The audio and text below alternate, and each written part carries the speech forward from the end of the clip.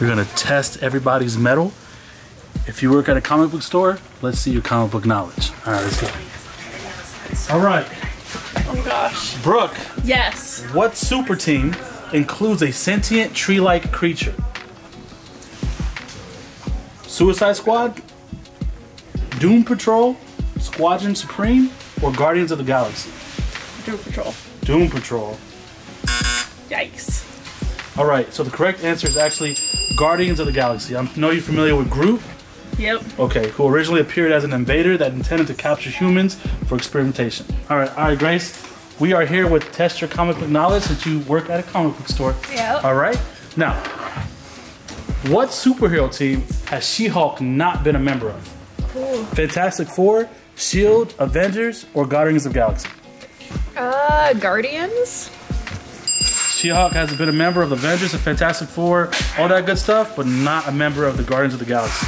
Comics Elite, if you know your comic book knowledge, all right? Okay. And we're here with Kyle, okay? Or Kyle, or Kevin, either or, whatever suits you best. What was the first graphic novel?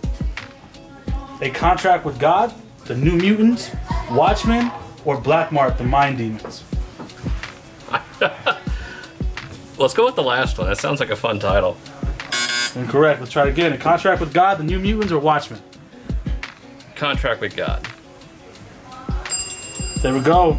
Uh, Contract with God and the Other Tenement Stories, published in 1978. The book is made up of four standalone stories that revolve around poor Jewish characters who lived in, a, in New York City. That sounds fun. These are written by Kyle. Wow. No idea. Will Eisner. There we go. All right, so the first one was a fail. Let's check it out. All right, Peter. All right, let's spin this chair around. You work at a comic book store. Let's see your comic book knowledge. All right. What member of the Inhumans did Johnny Storm date? Did Johnny Storm? I don't. Medusa, Crystal, Luna Maximoff, or Sephiroth? Medusa? Oh, I'm sorry. Let's try it again. Uh, I don't Crystal? do Inhumans, bro. Crystal? Sapphire? All right, so it was Crystal, Inhuman with the ability to, uh, I can't read that word, control four classic elements.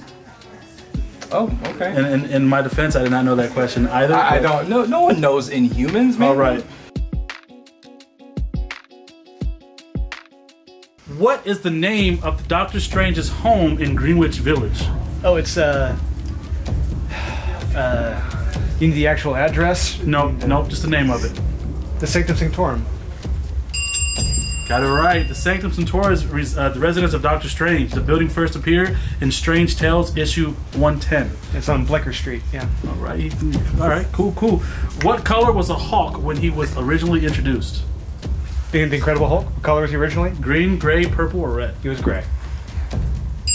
Stan Lee originally wanted the Hulk to be gray because he wanted a color that wouldn't suggest any particular ethnic group. Perfect. Mm, No, not so. I, I don't. No, I don't believe that's true. No. no. It was, but the he- colorist Stan Goldberg had problems with the gray coloring, resulting in different shades of gray. That, that was essentially the, the problem. Okay, yeah, even green in the first issue. So, Yeah. all right. Captain Leonard Mackenzie fathered what superhero? Captain America, War Machine, The Punisher, or Namor? Or Namor? Si- oh, a Namor. Is that the answer? Yeah. Hmm. After Princess Fen of Atlantis made a human sea captain, she gave birth to the first human Atlantean hybrid. Namor the Submariner. Why did Michael Jackson try to buy Marvel Comics in the 1990s?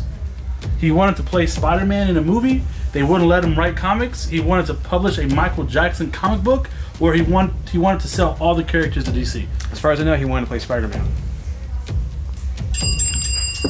Michael Jackson wanted to play Spider-Man so bad that he attempted to buy comic Marvel Comics just to make it happen. You, sir, know a lot about comics. Thank you. We appreciate your time No here. problem. All right, all right. We, all right, we're gonna see if the owner of Comics Elite knows his comic stuff.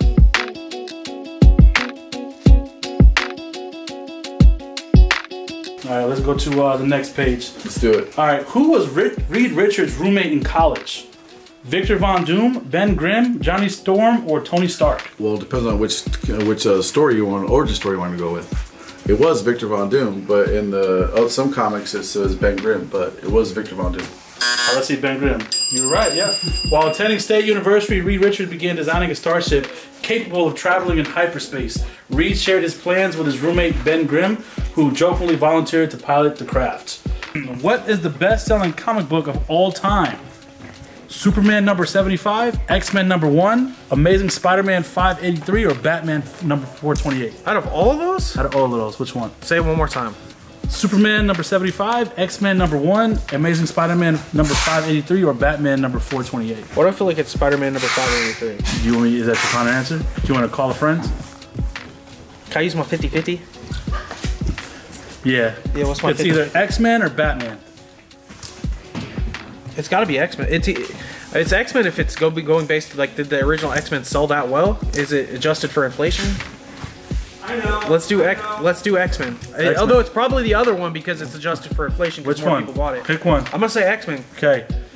Yep, in 1991, Marvel rebooted the X-Men with four variant covers and a special gatefold cover. Oh, so it's not the original number one. It's a remake of the. All right, Brad, you're losing your job today. It was very fun questioning you. This is, this is a really interesting way to lose my job. All right, All right. I'll see you guys in the next slide.